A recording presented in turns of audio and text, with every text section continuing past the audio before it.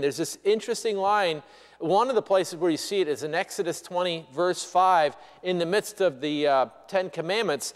And it says this from this version it says, The sins of the parents, I lay, God lays the sins of the parents upon their children. The entire family is affected, even children in the third and fourth generations of those who reject me. And, and when I read that as a kid, it said the sins of the parents are visited down to their children to the third and fourth generation. That was the King James Version of the Bible. When I heard that, what struck me is the, the unfair nature of that reality. That it sounds to me like when I read it, it sounds to me like my great grand my grandfather my great grandfather sinned.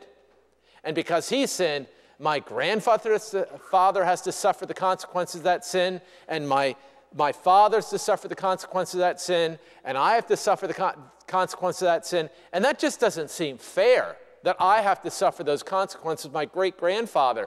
And yet that's the way I read it, but I don't think that's accurate. I don't think it's saying that I have to suffer the consequences of the sin. I think it's saying that I follow the pattern of my great grandfather and my grandfather and my father. And you know what?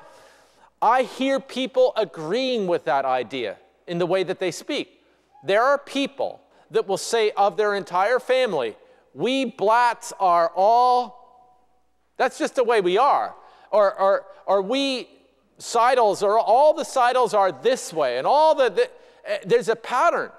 And, and the pattern of our family tree is we're all people that are prone to being angry, or the pattern of our families, we all seem to have some difficulty controlling alcohol, or the pattern of our family is we're all stubborn. And you know what? Since I'm stubborn, I can't change. That's just the way I am. And so there's a pattern, like in that movie.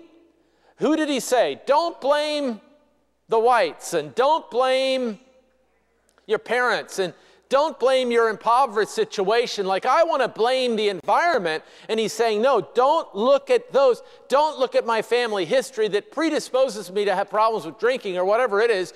Don't look at my ex wife and all the women that I'm married to. Don't look at them. Look at myself. That's, that's the idea that I get from this scripture that it is a pattern, but it doesn't have to be that way. The reality is, my temper that I have, gets me into trouble in my marriage, it gets me in trouble with uh, my employer, it gets me in trouble. It's in every area of my life, and I can either say, you know what, it's my wife's fault or it's my job's fault, and go through this door next and change things, or I can say, you know what, I'm really going to look at myself. And that's what I began to talk about last week, looking at myself. And I started by looking at a guy in the Bible whose name is Nehemiah.